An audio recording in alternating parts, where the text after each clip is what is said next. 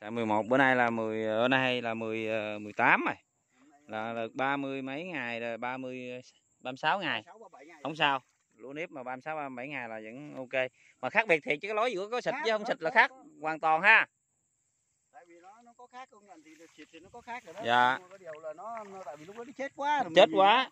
bây giờ là cái vậy thôi chứ còn nó bây giờ so mấy ấy thì nó không có ấy đâu nhưng mà tôi thấy thằng này xịt thằng này thì nó cũng tạm được đấy Dạ. tạm được là vì lá nó đứng không à Ờ Chứ mà lá- lá nhưng mà nếu mà nó không có bị trước đó là là xịt cái này là, là im dữ dằn luôn á, đúng không?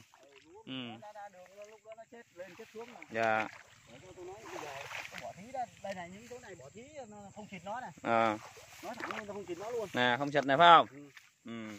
bởi sao cái đó là không xịt là nó khác liền nè Coi coi coi coi coi, coi không không? coi mà bây giờ mình bảo thôi lấy giống lấy má lại được rồi hồi nào được chứ bây giờ Còn cái bên xịt này. mình đung quá thì cũng cũng cũng lỗ mình đó rồi. Nhưng mà đúng ra phải đổi đổi phân xương xương nữa là nó hay là ông ơi. tại hôm đấy cứ điện cho như như nói đừng có chạy phân làm có câu nói tệ đâu mà à, bây giờ nó xuống nó nói chú đừng chạy phân chạy phân mà chết nữa thì Thì nó chết thì nó chết, còn cái nào nó đã hồi phục là hết bệnh thì phải cho ăn chứ. ờ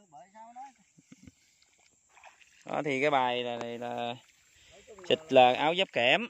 Là để ờ, hay là tên là là giải độc cây trồng để đâm chồi ra rễ để nhánh. Rồi còn cái cái đầu ôn đó là thằng saco một gói. Camin là vi khuẩn. 40 c phải không? Ừ.